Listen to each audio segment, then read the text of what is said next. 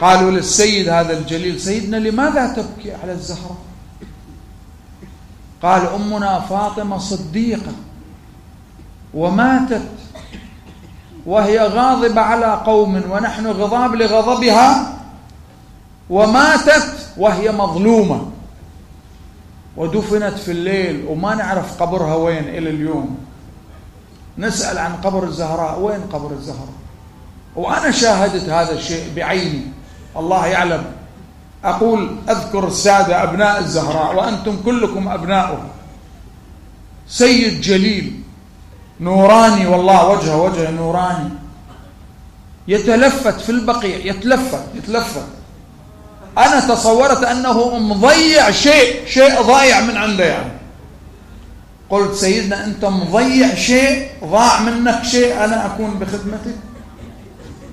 التفت لي وفاضت عيناه بالدموع. قال يا شيخ أنا مضيع قبر أمي فاطمة. أنا أريد أمي فاطمة أريد أبكي عليها أريد أوصل إلها. الزهراء تركت حسرة في قلوب أبنائها وفي قلوبنا جميعا. تركت حسرة كبيرة. أبناؤها كذلك أحبتي